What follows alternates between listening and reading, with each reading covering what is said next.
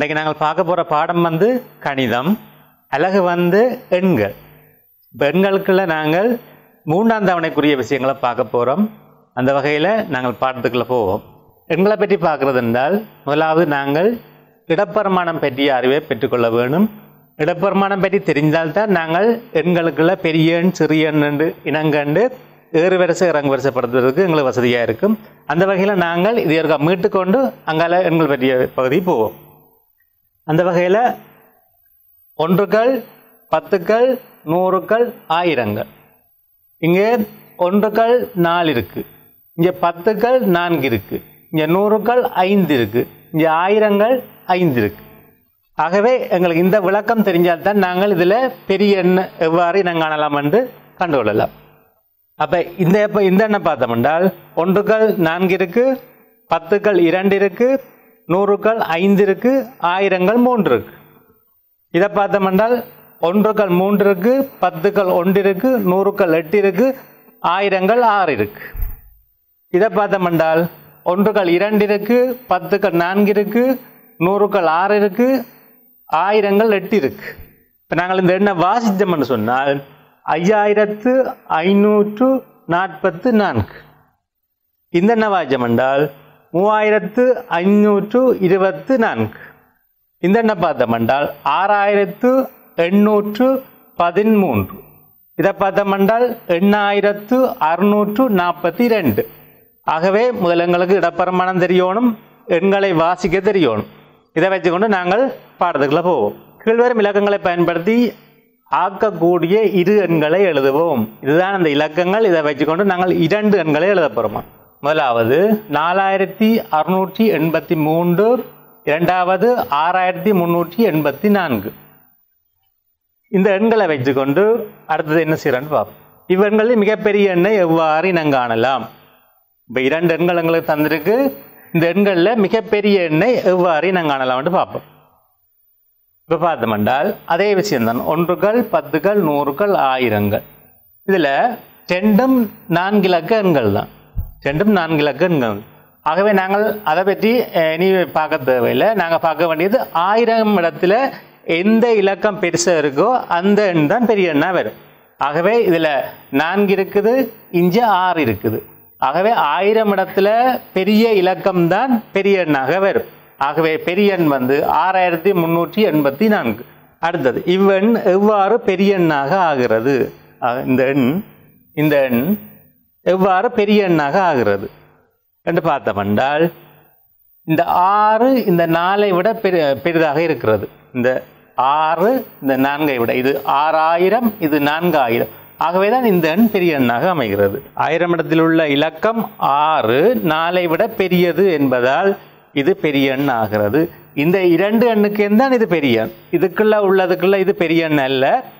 இந்த ரெண்டுக்குள்ளேயும் இது பெரிய. அடுத்தது ஆயிரத்தி இடத்தில் ஒரே இலக்கத்தை கொண்ட இரு எண்களில் பெரிய எண்ணை எவ்வாறு இனங்காண்போம் என பார்ப்போம். முதல் நாங்கள் பார்த்தது ஒன்று ஆறு ஆயிரத்தி நடத்தில் ஒன்று ஆறு மற்றது நான்கு. அப்போ வேற வேற இலக்கத்தை பார்த்து நாங்கள் இப்போ ஒரே இலக்கத்தை பார்க்க போகிறோம் ஆயிரம் இடத்துல ரெண்டும் ஐந்து தான் இருக்குது. ஆகவே ஆயிரம் இடத்தை விட்டுட்டு அடுத்தது நாங்கள் நூறு இடத்தை வச்சு கொண்டு தான் பெரிய எண்ணை இனங்காண போகிறோம் ஆகவே பார்த்தோம் என்றால் இஞ்ச நூறு நான்கு இருக்குது இஞ்ச நூறுனத்தில் எட்டு இருக்குது. ஆக எது பெருசுன்னு பார்த்தால் எட்டு தான் பெருசு. ஆகவே பெரிய எண்ணெண்டைக்குள்ள இந்த எண் வரும். இங்கே நூறுடத்தில் உள்ள இலக்கத்திற்கு ஏற்ப பெரிய எண்ணை தெரிவு செய்தல் வேண்டும். நூறிடத்தில் இலக்கம் எட்டு பெரியது என்றபடியாக இந்த இலக்கத்தை நாங்கள் எண்ணை தெரிவு செய்கிறோம். அடுத்தது பார்ப்போம். ஆயிரம் இடத்தில் செண்டும் எட்டு தான் வருது அப்போ நூறுடத்தில் பார்க்க வேண்டும். நூறு பார்த்தோம் என்றால் இஞ்ச எண்ணாயிரத்து நானூற்றி எழுபத்தி இரண்டு. ஆக நான்கு இருக்கு. இங்கே எண்ணாயிரத்தி அறுநூற்றி முப்பத்தி ஒன்பது இங்கே நூறத்தில் ஆறு இருக்கு. ஆகவே இது நான்கு ஆறா பெருசுன்னு பார்த்தா எங்களுக்கு ஆறு தான் பெருசு. ஆகவே இதுதான் பெரிய எண்ணாக அமைய போகுது. எண்ணாயிரத்தி அறுநூற்றி முப்பத்தி ஒன்பது. இந்த எண்களில் பெரிய எண். அடுத்த பார்ப்போம். இவ்வெண்களில் பெரிய எண்ணை கண்டறிவோம். இங்கேயும் அதே விடயம்தான் ஆயிரம் இடத்து எண்கள் ரெண்டும் ஒன்று ஆகவே நாங்கள் அடுத்தது பார்த்தோம்னா நூறு இடத்து எண்கள் ரெண்டும் ஒரே இலக்கம் ஆகவே நாங்கள் ஆயிரம் இடத்தை வைத்துக்கொண்டும் பார்க்க முடியாது நூறுகளை வைத்துக்கும் பார்க்க முடியாது. ஆகவே நாங்கள் பத்து இடத்து இலக்கத்தை பார்க்க வேண்டும். பத்தினத்தில் இலக்கம் பார்த்தோம் என்றால் இங்கே ஏழு இருக்குது இங்கே நான்கு இருக்குது. இங்கே நான்கு இங்கே ஏழு. இப்போ நாலை விட ஏழு பெரிதண்டபடியால் இதுதான் பெரிய இலக்கமாக அமையும். சரி ரெண்டாயிரத்தி அறுநூற்றி எழுபத்தி மூன்று. அடுத்த பார்த்தோம்டா ஆயிரம் இடத்துல ஆறு இங்கே நூ நூறு கடத்தில் எட்டு. ஆகவே நாங்கள் பத்திரத்தை பார்க்கணும். பத்திரத்தை பார்த்தோம்னா இங்கே ஏழு இருக்குது இங்கே நான்கு இருக்குது ஆகவே ஏழு இருக்கிற எண் தான் பெரிய எண்ணாக அமையும். அடுத்த பார்ப்போம். இந்த கூடில் இருக்கிற இலக்கங்களை பயன்படுத்தி அமைக்கக்கூடிய மிகப்பெரிய எண் யாது? இந்த கூடில் இருக்கிற இலக்கங்களை பயன்படுத்தி அமைக்கக்கூடிய மிகப்பெரிய எண் யாது? இப்போ நாங்கள் மிகப்பெரிய எண் அமைக்க வேண்டும் என்று சொன்னால் இருக்கிற இலக்கங்களுக்கு பெரிய இலக்கத்தை முதலாவது தெரிவு செய்ய வேண்டும். ஆகவே பெரிய இலக்கம் இதில் வந்து பார்த்தோம் என்றால் ஒன்பது. ஆகவே முதலாவது ஒன்பதை நாங்கள் எழுதுவோம். ஒன்பது எழுதியாச்சு இனி மீதி இருக்கிறதுக்குள்ள எது பெரிய பார்ப்போம். பார்த்தோம் என்றால் அடுத்தது ஏழு பெரிய. ஆகவே ஏழு எழுதுவோம். இப்போ ஒன்பது எழுதியாச்சு ஏழு எழுதியாச்சு. மீதியாக இருக்கிற இரண்டு இலக்கத்துக்கு எது பெரிதுன்னு பார்த்தோம் என்றால் ஐந்து பெரிது. ஆகவே அடுத்தது ஐந்து எழுதுவோம்.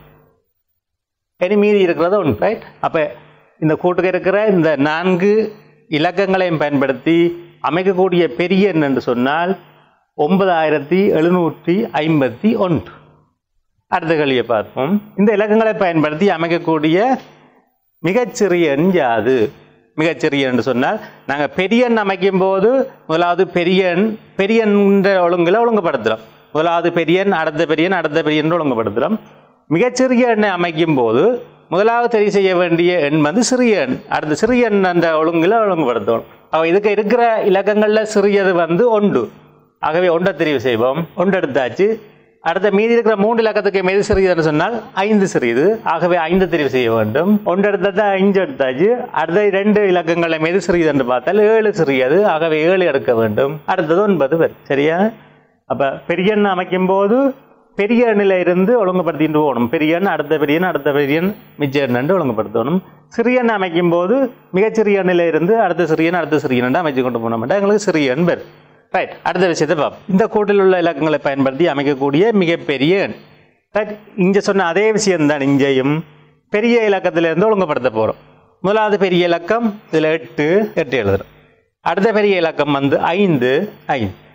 அடுத்த பெரிய இலக்கம் வந்து இரண்டு அடுத்தது பூஜ்ஜியம். சரிதானே? ஆகவே பெரிய எண்ணில் இருந்து சிறிய எண் மட்டும் ஒழுங்குபடுத்தினோம்னு சொன்னால் எங்களுக்கு பெரிய எண் கிடைக்கும். அடுத்த கேள்வியை பார்ப்போம். இந்த இலக்கங்களை பயன்படுத்தி அமைக்கக்கூடிய சிறிய எண் மிகச்சிறிய எண். சிறிய எண் அமைக்கிறது எப்படின்னு நாங்கள் முதல் பார்த்து நாங்கள் சிறிய எண்ணிலிருந்து ஒழுங்குபடுத்த வேணும். ஆனால் இங்கே பூஜ்ஜியம் இருக்கிறபடியால் நீங்கள் ஒன்றை கவனிக்க வேணும். பூஜ்ஜியத்தை சிறிய எண்ணிலிருந்து ஒழுங்குபடுத்தின பிறகு பூஜ்ஜியத்தை இரண்டாம் இடத்தில் போட்டோம் என்றால் சரியாக வரும். இந்த எண் அமைக்க போகிறோம் என்றாலும் பூஜ்ஜியத்தை இரண்டாம் இடத்தில் போடணும். இப்போ முதலாவது சிறியன் வந்து இரண்டு எடுக்கிறோம் இரண்டுக்கு பிறகு பூஜ்ஜியத்தை போடணும் பூஜ்ஜியம். இனி அடுத்த ஐந்து வரும். அடுத்த எட்டு வரும். ஆகவே எந்த ஒரு சிறியனை அமைக்கும் போதும் பூஜ்ஜியம் வந்தால் பூஜ்ஜியத்தை இரண்டாம் இடத்துல போட வேண்டும். மற்ற எண்களை பலமை போல் ஒழுங்குபடுத்திட்டு பூஜ்ஜியத்தை முன்னுக்கு போடுற மாதிரி போட்டு ஒழுங்குபடுத்தினாலும் சரி போட்டுட்டு பிறகு பூஜ்ஜியத்தை இரண்டாம் இடத்துல போட வேண்டும். எந்த இலக்கத்தை அமைக்கிறதாக இருந்தாலும் பூஜ்ஜியம் வந்தால் இரண்டாம் இடத்துல நாங்கள் பூஜ்ஜியத்தை போட்டோம்னா சிறிய எண்ணம் மையம் ரைட் அடுத்த விஷயம் பார்ப்போம். அடைப்பில் உள்ள இலக்கங்களை பயன்படுத்தி வெவ்வேறு நான்கு இலக்க எண்கள் மூன்றை அமைப்போம். ரைட் ஆறு நான்கு பூஜ்ஜியம் ஒன்பது. ஒரு இலக் ஒரு எண்.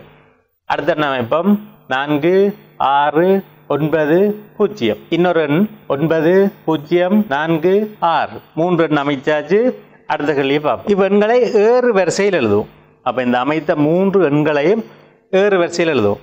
ஏறு வரிசையில் எழுதுறேன்னு சொன்னால் குறைந்த எண்ணிலிருந்து கூடிய எண் வரை ஒழுங்குபடுத்த வேண்டும். ஏறு வரிசைன்னு சொன்னால் குறைந்த எண்ணிலிருந்து கூடிய எண் வரை ஒழுங்குபடுத்த வேண்டும். ஆகவே நாங்கள் இதில் முதல் பார்த்த விஷயத்தை திருப்பி பார்க்க வேணும். இதில் எது சிறிய எண்ன்றதை முதல் தெரிவு செய்யணும் இந்த இருக்கிற மூன்று எண்ணிலையும் எது சிறிய எண்? அப்படி பார்த்தோம்னு சொன்னால் முதல் எல்லாமே நான்கு இலக்க எண்கள். ஆகவே அது பிரச்சனை இல்லை எங்களுக்கு. அடுத்தது ஆயிரம் இடத்து எண்களில் சிறிய எண்ணை முதலாவது தெரிவு செய்ய வேண்டும். வேறு வரிசையில் அமைக்கணும் என்று சொன்னால் ஆயிரமாம் இடத்து எண்ணில் சிறிய இலக்கம் உள்ள எண்ணை தெரிவு செய்ய வேண்டும். அந்த வகையில் இங்கே ஆறு இருக்குது இங்கே நான்கு இருக்குது இங்கே ஒன்பது இருக்குது ஆகவே நான்கு இருக்கிற எண் தான் முதலாவது சிறிய எண் என்று நாங்கள் எடுக்கணும் இப்போ முதலாவது இந்த எண்ணை எழுதுவோம். நான்காயிரத்து நான்காயிரத்து அறுநூற்றி தொண்ணூறு முதலாவது சிறிய அடுத்த ரெண்டு எண்ணிலையும் அடுத்த சிறிய எண்ணை தெரிவு செய்யணும் அப்படி பார்த்தோம்னா இங்கே ஒன்பது இருக்கு இங்கே ஆறு இருக்கு. அப்போ ஆறு உள்ளது தான் சிறிய எண்ணா வரும். ஆறாயிரத்தி நானூற்று ஒன்பது. அடுத்தது மீதி உள்ள இலக்கம் அப்படியே வரும். ஒன்ப ஒன்பதாயிரத்தி நாற்பத்தி ஆறு. ஆகவே வேறு வரிசையில் எண்ணை ஒழுங்குபடுத்தும் போது நாங்கள் கவனிக்க வேண்டியது சிறிய எண்ணில இருந்து பெரிய எண் மட்டும் எண்ணெயை ஒழுங்குபடுத்துறது. அப்படி ஆக்கும்போது நாங்கள் கவனிக்க வேண்டிய இந்த விடயம் ஆயிரமாவது இடத்துல சிறிய இலக்கம் இருந்தால் ஆயிரமாவது இடத்துல சிறிய இலக்கம் இருந்தால் அது சிறிய எண்ணாக இருக்கும். அதுக்கு அடுத்தடுத்து எண்களை பார்த்து நாங்கள் தெரிவு செய்வோம். இவ்வெண்களை ஏறு வரிசையில் எழுதுவோம். முதல் பார்த்து அதே விஷயம்தான். ஏறு வரிசை. ஆகவே இந்த எண்களில் மிகச்சிறிய எண்ணை நாங்கள் முதலாவது தெரிவு செய்ய வேண்டும். அப்படி தெரிவு செய்கிறேன்டா நாங்கள் பார்க்க வேண்டியது எல்லாமே நான்கு இலக்க எண்கள். நான்கு இலக்க எண்கள் நாங்கள் அடுத்தது பார்க்க வேண்டியது ஆயிரமாவது இடத்துல எது சிறிய இலக்கமோ ஆயிரம் ஆவது இடத்துல எது சிறிய இலக்கமோ அதுதான் முதலாவது சிறிய எண்ணாக இருக்கும். அப்படி பார்த்தோம்னால் இங்கே மூன்று இருக்குது இங்கே ஒன்று இருக்குது இங்கே ஐந்து இருக்கு இங்கே நான்கு இருக்கு. அப்போ மூண்டா ஒன்றா ஐந்தா நான்கா சிறியது என்று பார்த்தோம்னா ஒன்று சிறியது. ஆகவே நாங்கள் ஒன்று இருக்கிற இலக்கத்தை எண்ணை முதலாவது நாங்கள் தெரிவு செய்வோம். ஆயிரத்தி முந்நூற்றி தொண்ணூற்றி ரெண்டு. முதலாவது ஆகவே நாங்கள் இந்த எண்ணை எடுத்துட்டோம். இதை விட்டுட்டு மீதியும் இருக்கிற மூன்று எண்களில் அடுத்த சிறிய எண்ணை தெரிவு செய்ய வேண்டும். அப்படி பார்த்தோம்னால் இங்கே மூன்று இருக்குது இந்த ஐந்து இருக்குது இங்கே நான்கு இருக்கு. ஆகவே மூன்று உள்ள எண் வந்து அடுத்த சிறிய எண்ணாக வரும். அப்போ மூவாயிரத்து நானூற்று ஐம்பத்தி இரண்டு அடுத்த சிறிய. மீதி இருக்கிற இரண்டு எண்களையும் அடுத்த சிறிய நாங்கள் கண்டுபிடிக்க வேணும். இங்கே ஐந்து இருக்கு இங்கே நான்கு இருக்கு. அப்போ நான்கு சிறியது என்றபடியால் இந்த இலக்கம் அடுத்த சிறிய எண்ணாக அமையும். நான்காயிரத்து எண்ணூற்று இருபத்தி ஒன்பது. இனி அடுத்தது மீ- மீதியாக எஞ்சி இருக்கிற எண் வரும். அப்போ நாங்கள் வேறு என்று சொன்னால் சிறிய எண்ணை முதலாவது தெரிவு செய்ய வேணும் சிறிய எண்ணை தெரிவு செய்யணும் என்றால் ஆயிரமாவடத்து இலக்கத்தில் சிறிய இலக்கம் அஹ், சிறிய எண்ணாக அமையும். ரைட் அடுத்தது பார்ப்போம். இந்த எண்களை ஏறுவரிசைப்படுத்துவோம் இதே ஆயிரமாவடத்து இலக்கங்களை நாங்கள் பார்ப்போம். இங்கே நான்கு இருக்கு இங்கே எட்டு இருக்கு இங்கே இரண்டு இருக்கு இங்கே ஒன்று இருக்கு. ஆகவே ஒன்று இருக்கிற இலக்கம் வந்து சிறிய எண்ணாக அமையும். ஆகவே ஆயிரத்தி இருநூற்றி நாற்பத்தி மூன்று ஆயிரத்தி இருநூற்றி நாற்பத்தி மூன்று முதலாவது சிறிய எண். என்ன பார்த்தோம்னு சொன்னால் இங்கே நான்கு இங்கே எட்டு இங்கே இரண்டு. ஆகவே இரண்டு இருக்கிறது அடுத்த சிறு எண்ணாக அமையும். ரெண்டாயிரத்தி எண்ணூற்றி நாற்பது. மீதி இருக்கிற இரண்டுலையும் இங்கே நான்கு இருக்குது இங்கே எட்டு இருக்குது. ஆகவே எட்டை விட நான்கு சிறிதன்றபடியே நாங்கள் நாங்கள் தெரிவு செய்ய போகிறோம் நான்காயிரத்து முந்நூற்றி எழுபத்தி ஐந்து. அடுத்தது இஞ்சி இருக்கிறது அப்படியே வரும். எண்ணாயிரத்து தொள்ளாயிரத்து முப்பது. சரியா? அடுத்ததை பார்ப்போம் இதில் நாங்கள் சிறிய எண்ணெய் முதலாவது தேடுவோம். இங்கே ஒன்பது இருக்கு இங்கே ஐந்து இருக்கு இங்கே ஏழு இருக்கு இங்கே ஆறு இருக்கு. அப்போ இதில் மிக சிறிய எண் முதலாவது எதுன்னு பார்த்தோம் என்றால் ஐந்து. அப்போ ஐந்து இருக்கிற இலக்கம் முதலாவது எழுத போகிறோம் ஐயாயிரத்து முந்நூற்று தொண்ணூற்றி ஆறு நாங்கள் முதலாவது எழுத போகிறோம் அடுத்தது இதை விட்டு மீதியை பார்த்தோம் என்றால் இங்கே ஒன்பது இங்கே ஏழு இங்கே ஆறு. ஆகவே ஆறு தான் சிறிய இலக்கம் என்றபடியால் ஆறு எழுத போகிறோம் ஆறாயிரத்து முந்நூற்றி இருபத்தி ஒன்று. இனி எஞ்சி இருக்கிறதுக்குள்ள பார்த்தோம்னா இங்கே ஒன்பது இருக்குது இந்த இங்கே ஏழு இருக்குது.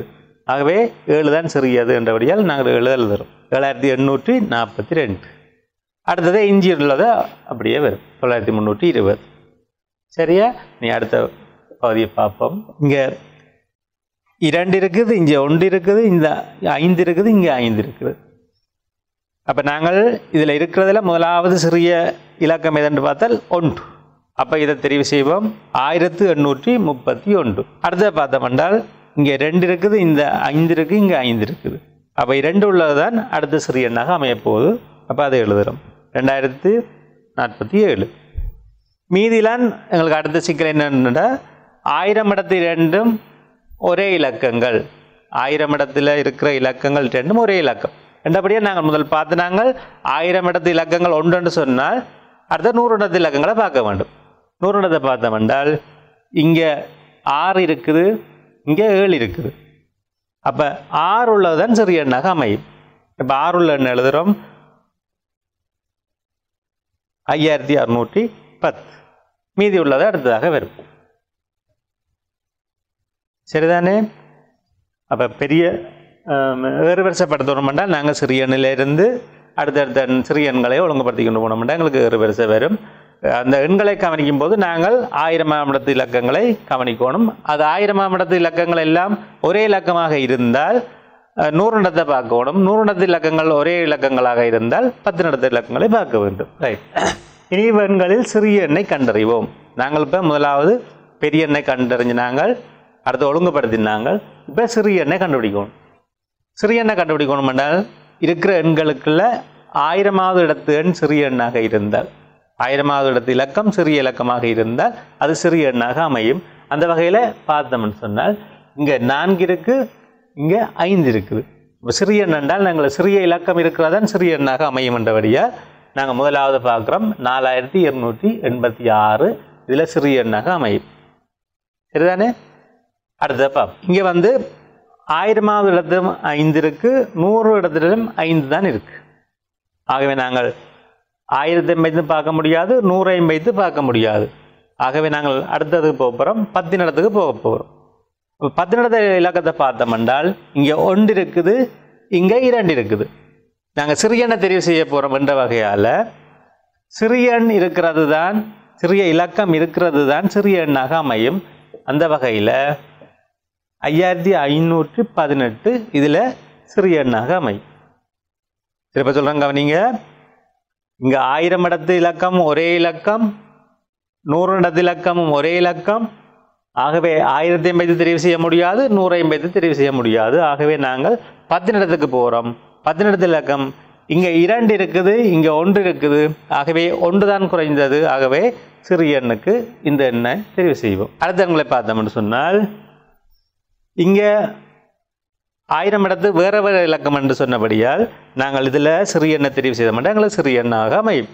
அந்த வகையில் இங்கே ஆறு இருக்குது இங்கே ஐந்து இருக்குது. ஆகவே நாங்கள் ஐந்து உள்ள இலக்கத்தை சிறிய எண்ணாக தெரிவு செய்வோம். ஐயாயிரத்து எண்பத்தி நான்கு. சரிதானே? அப்போ சிறிய எண்ணை நாங்கள் அமைக்கணும் என்று சொன்னால் சிறிய எண்ணிலிருந்து ஒழுங்குபடுத்த வேணும். சிறிய எண்ணில் ஒழுங்குபடுத்தினாங்களே சிறிய எண்ணை அமையும். இதை மாதிரி ஆயிரம் இடத்து எண்கள் ஒரே எண்களாக நூறு இடத்து எண்கள் ஒரே எண்களாக இருந்தால் நாங்கள் பத்து இடத்துக்கு போகணும். பத்து இடத்துல ஒரே இலக்கமாக இருந்தால் நாங்கள் ஒன்று இடத்துக்கு போக வேண்டி வரும். ரைட் அடுத்தது பார்ப்போம். இப்போ மூன்று எண்கள் தந்திருக்கு. இந்த மூன்று எண்களை நாங்கள் சிறிய எண்ணை கண்டுபிடிப்போம். இப்போ நாங்கள் முதல் கழித்த அதே விடயத்தை தான் இங்கே பார்க்க போகிறோம் ஆயிரமாம் இடத்து எண்ணை பார்க்குறோம். ஆயிரமாம் இடத்து எண்ணில் சிறிய எண் ஏதோ அதுதான் சிறிய எண்ணாக அமையும். சிறிய இலக்கம் ஏதோ அதுதான் சிறிய எண்ணாக அமையும். இங்கே ஒன்பது இருக்குது. இங்கே ஆறு இருக்குது இங்கே நான்கு இருக்குது. ஆகவே நான்கு இருக்கிற எண் வந்து சிறிய எண்ணாக அமையும். அப்போ நான்காயிரத்து ஐநூற்று எண்பத்தி ரெண்டு இந்த எண்களில் சிறிய எண்ணாக இருக்கும். அடுத்ததை பார்த்தோம் என்றால் அடுத்த விஷயத்தை பார்த்தோம் என்றால் இங்கே ஆயிரம் இடத்துல மூன்று இருக்குது இங்கே ஆயிரம் இடத்துல மூன்று இருக்குது இங்கே நான்கு இருக்குது நாங்கள் சிறிய எண்ணை தெரிவு செய்ய வேண்டும் என்று சொன்னால் ஆயிரமாம் இடத்து இலக்கம் சிறிய எண்ணாக இருக்க வேண்டும்.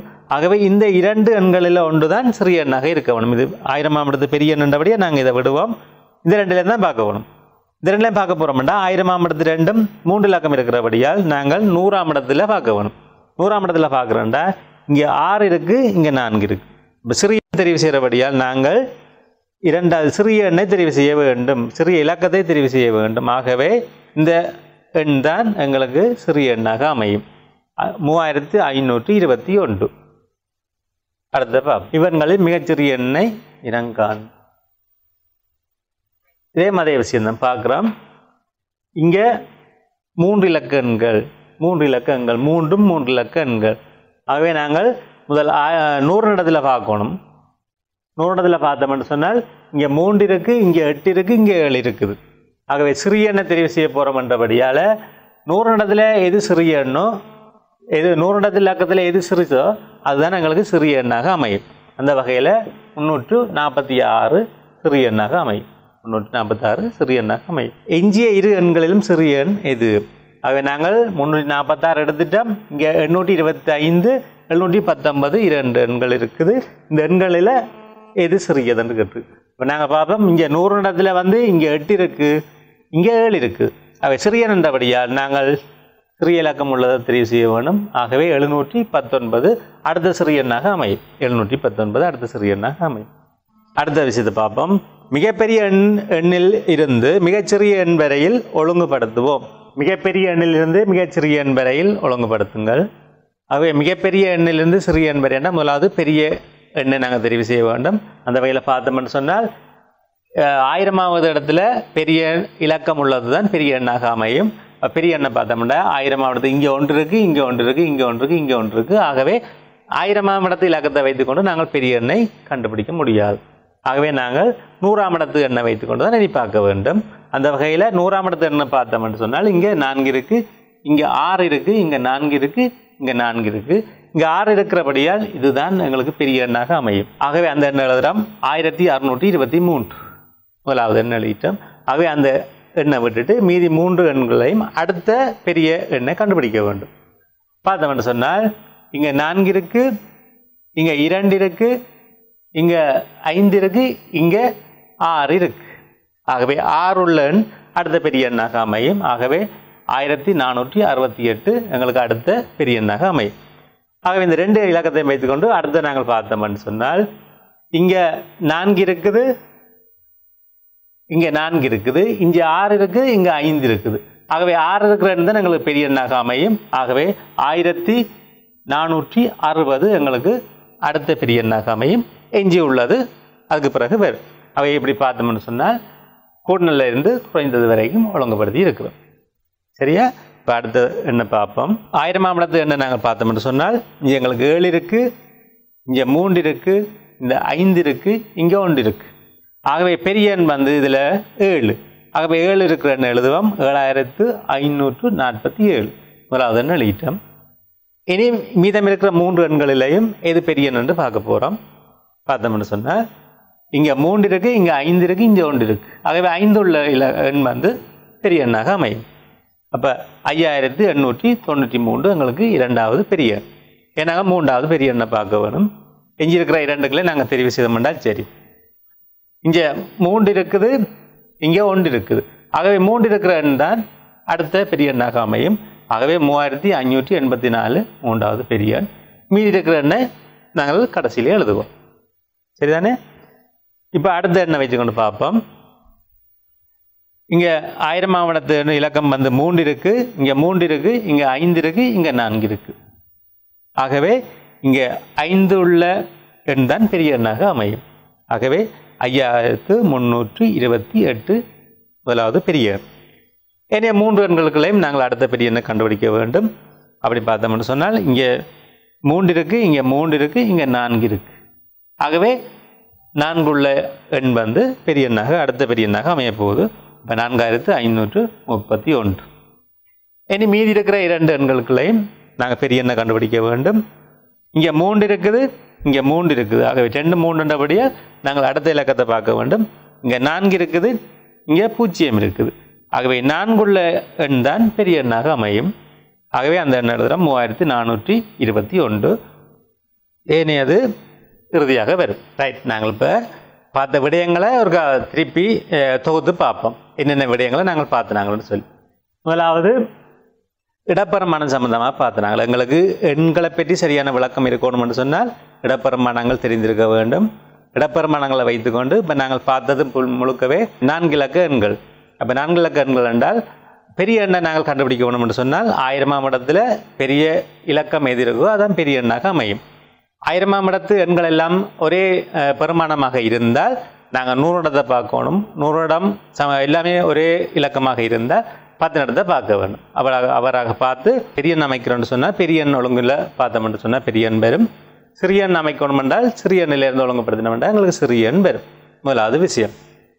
அடுத்த விஷயம் நாங்கள் பார்க்குறோமே சிறியன் அமைக்கும் போது பூஜ்ஜியம் வந்து என்று சொன்னால் பூஜ்ஜியத்தை இரண்டாவது இடத்துல போடணும் எண்களை சிறிய எண்ணிலிருந்து பெரிய எண் மட்டும் ஒழுங்குபடுத்தி போட்டு பூஜ்ஜியத்தை இரண்டாம் இடத்துல போட்டோம்னா எங்களுக்கு சிறிய எண் அமையும். அடுத்தது சிறிய எண்ணிலிருந்து பெரிய எண் மட்டும் நாங்கள் ஒழுங்குபடுத்தினோம்னு சொன்னால் எங்களுக்கு ஏறு வரிசை வரும். பெரிய எண்ணிலிருந்து சிறிய எண் மட்டும் ஒழுங்குபடுத்தினோம் என்றால் இறங்கு வரிசை வரும். இந்த விடயங்களோடு நாங்கள் நிறைய பாடத்தை நிறைவு செய்து கொண்டு அடுத்த பாடத்தோடு நாங்கள் சந்திக்கும் வரை உடனே விடைபெற்றுக் கொள்கிறேன். நன்றி வணக்கம்.